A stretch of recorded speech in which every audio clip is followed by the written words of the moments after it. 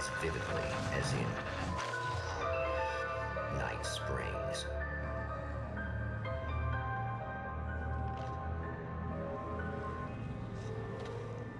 The man before you is a champion of light.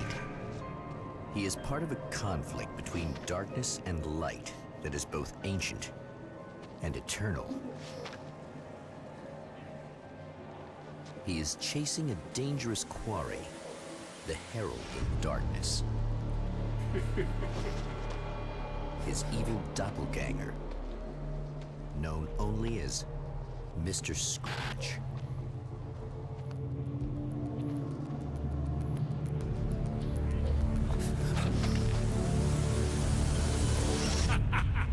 I'll catch you eventually! Maybe. But what are you gonna do then? By then, I'll have had my hands on everything you love.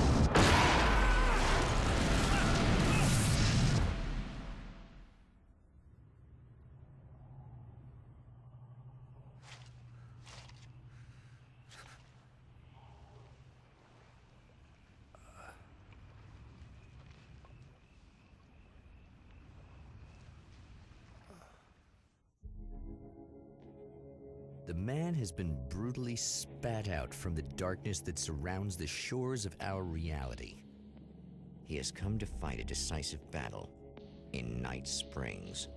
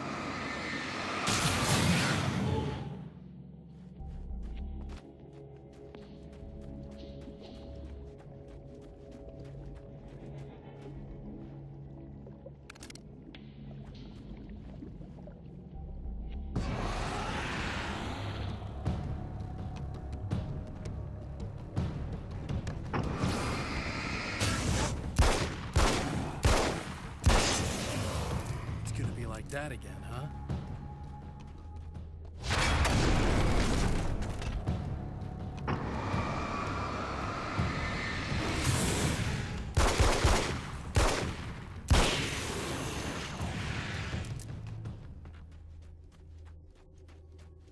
In another life, the man was a writer.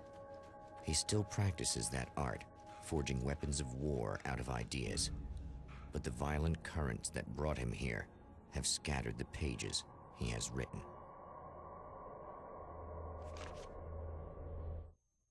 My name is Alan Wake, and I'm a writer. I didn't become one overnight. Like most writers, I struggled with it. A short story here, an article there. Then I got lucky and spent a year as a staff writer on the Night Springs TV show. It wasn't the great American novel of my fantasies, but it taught me discipline and craft, and the difference between wanting to be a writer and actually writing.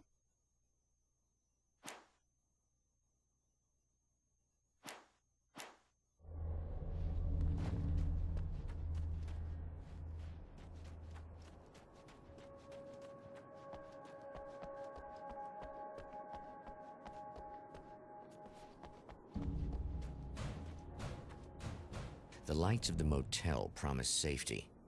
The man senses that the solution to his predicament begins there.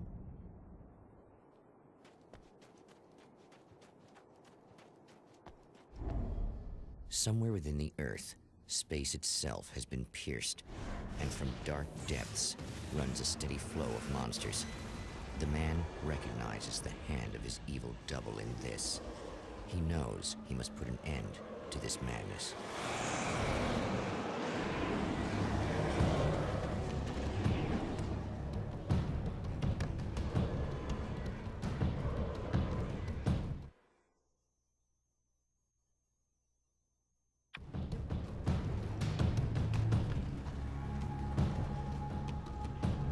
I can't stay here now.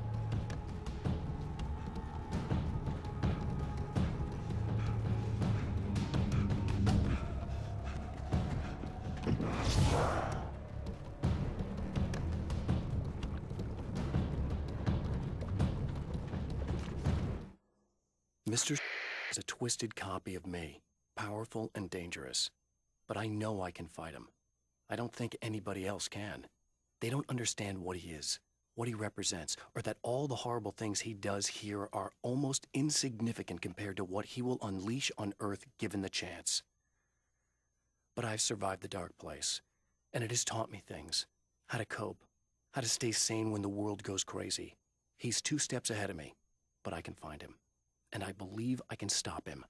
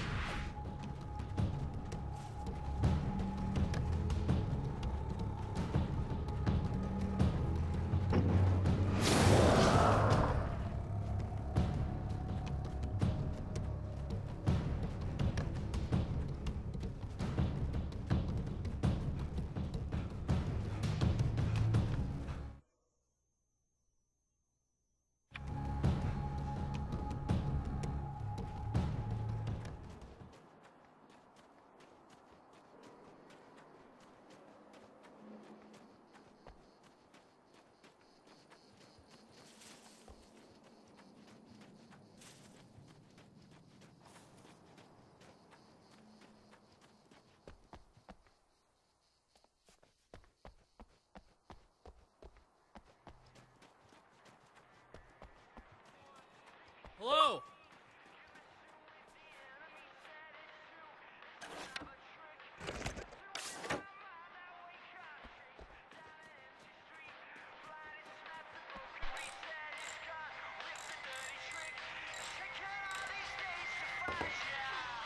Hey, it's you. There. You remember me, right? Emma? Emma Sloan?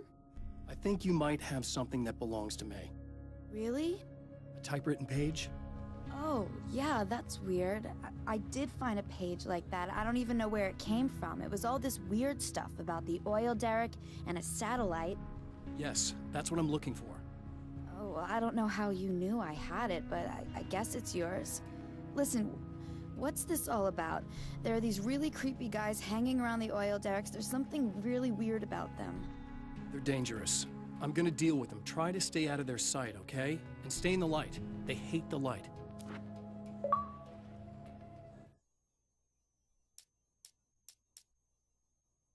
At the oil derrick, the wheel had been jammed in place and turned until the oil gurgled and flowed thick and flammable.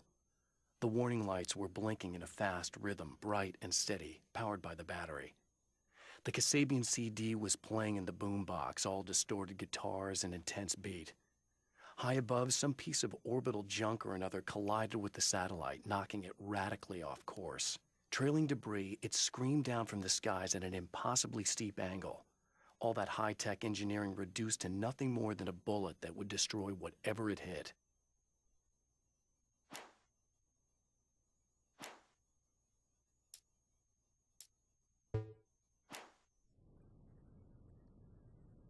Just to be clear, you should know that we haven't actually met before. Sure we have, Mr. Wake. Remember you stayed at the motel here. No, the guy you're talking about just looks like me, even if he uses my name. He's behind all this trouble. Oh, I thought, um... Now that you mention it, I guess your aura looks a lot nicer than his, actually. I'm very sensitive to things like that. There's a bunch of stuff I need to find. The things mentioned on that page? Well, there's a lot of old crap lying around this place. Great, thanks. I think you should be able to find everything, except the satellite, obviously. Are you gonna tell me what this is? I don't think that'd go over too well. Why don't you let me be the judge of that? Fine. The page is a formula for rewriting reality. Either I use it to close a strange portal to a place that isn't in our world, or shadowy serial killer monster things keep pouring out of there. Yeah, you were right the first time. You can think what you want about me, but there's still bad guys around. Be careful. Well, you might be nuts, but I've seen the way they move, the way they look. I'll buy that. They're called Taken. They aren't really human. Not anymore. And they're climbing out of the oil well? What, do they have secret headquarters down there, or...? No, that's just where the point of connection is.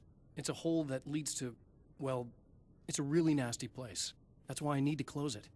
And the guy who looks like you opened it, because he was hanging around the oil field before. He gets around, unfortunately. Thanks for helping me.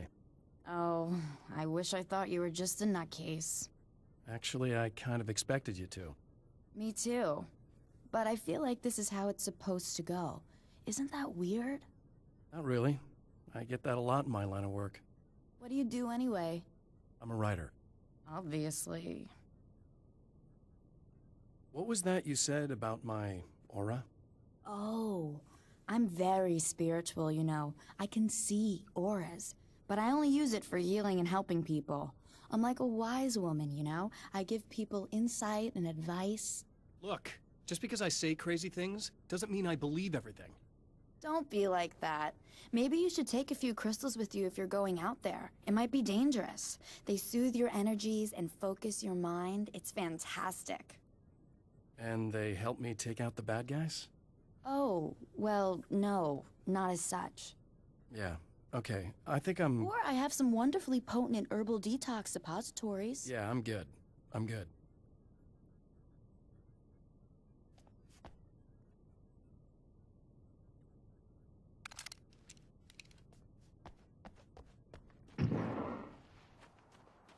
The champion of Light recognizes the page he got from the woman. It is a weapon of his own design, custom engineered to destroy the Dark Portal. If he recreates the conditions of the page, a great power will be unleashed.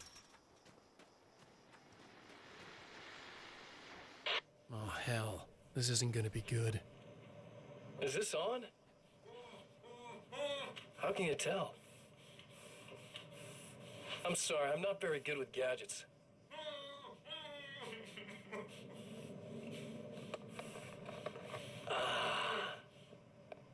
That's more like it.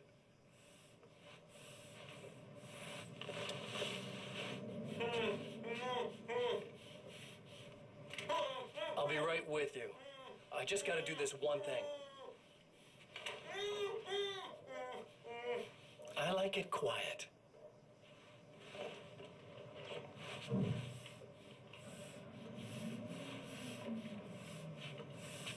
I bet you're wondering why this is happening. Why am I doing all this?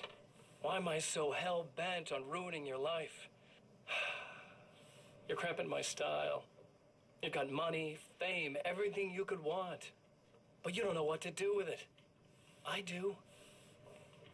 I'm getting all the things you never had the balls to go for. Having more fun, too.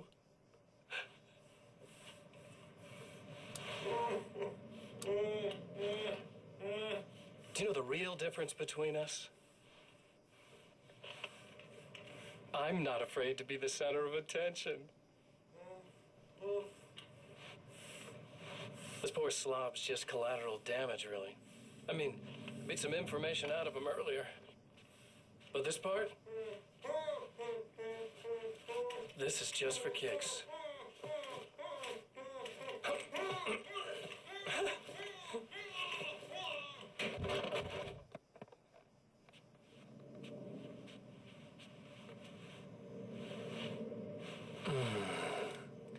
So quiet.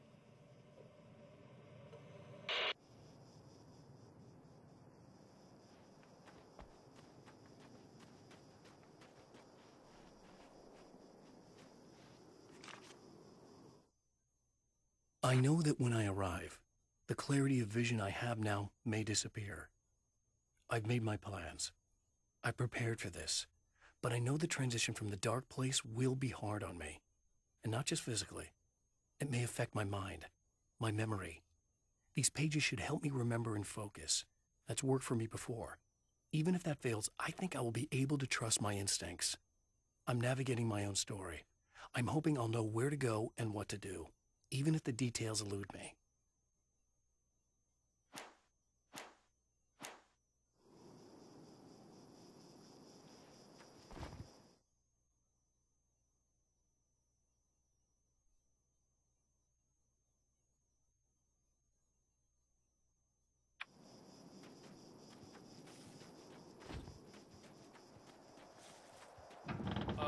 Wait.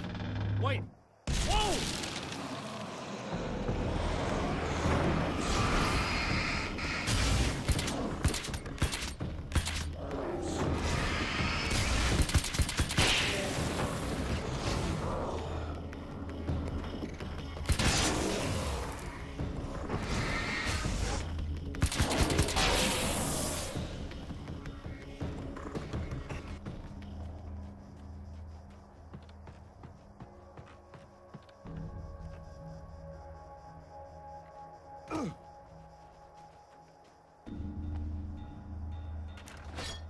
That's one thing down.